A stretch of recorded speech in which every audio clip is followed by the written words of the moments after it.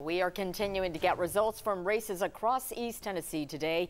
You can see the counties in dark blue on this map, which held elections. To give you those results live as they come in, we have live team coverage tonight. 10 News reporter Grace King joins us from North Knoxville. You see reporter Vinay Simlot joins us in studio, but we begin with Mary Klingler and a decisive win in the race for Knox County Sheriff, Robin. That's right. Two men who've both held the title of Knox County Sheriff went head to head today in the Republican primary. Current Sheriff Tom Spangler faced former Sheriff Jimmy J.J. Jones, who headed up the department for eight years from 2010 to 2018. And again, Mary joining us live from the Republican gathering at the Crowne Plaza, where the incumbent sheriff won both the early vote and election day. Mary?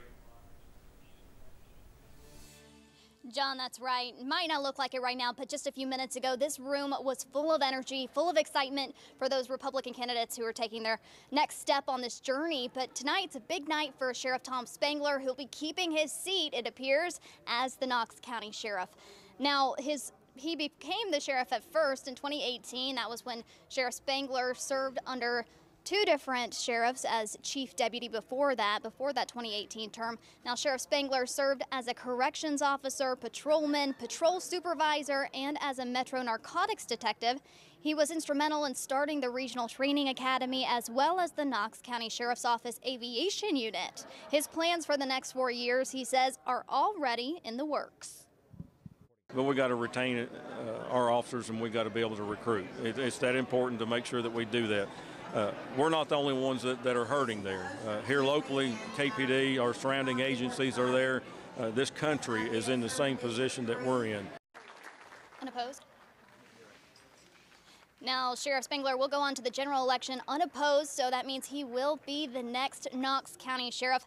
And he says his primary goal is to get more money into the sheriff's uh, office hands and into those workers, employees' pockets.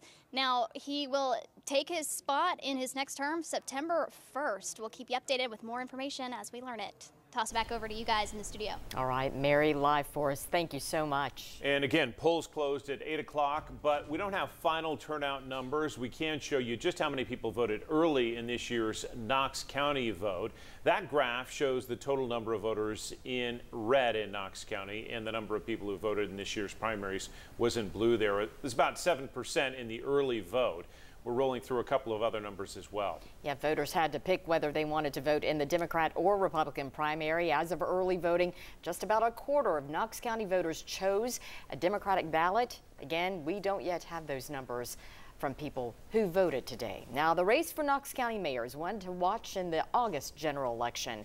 Current Mayor Glenn Jacobs ran unopposed on the Republican ticket. He will face Democrat Debbie Helsley who captured about 75% of the vote tonight. For reaction on the Democratic side, we turn to 10 News reporter Grace King joining us live from North Knoxville. Hey, Grace. Hey, John. There were only two contested races in that Democratic primary this year the county mayor race and school board District 1. In the mayoral race, like you mentioned, Debbie Helsley will face County Mayor Glenn Jacobs after she won with about 74% of the vote over Democrats Tyler Givens and Bob Fisher.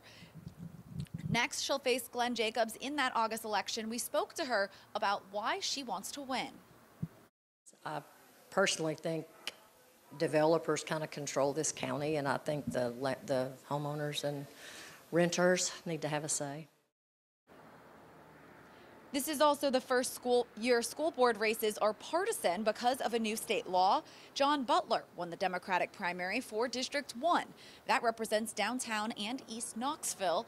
No Republican candidates qualified for that race. However, there are two independents running for District 1, so we'll find out in August who will replace Evetty Satterfield. Robin and John. Grace King on the Democratic side. Thank you, Grace.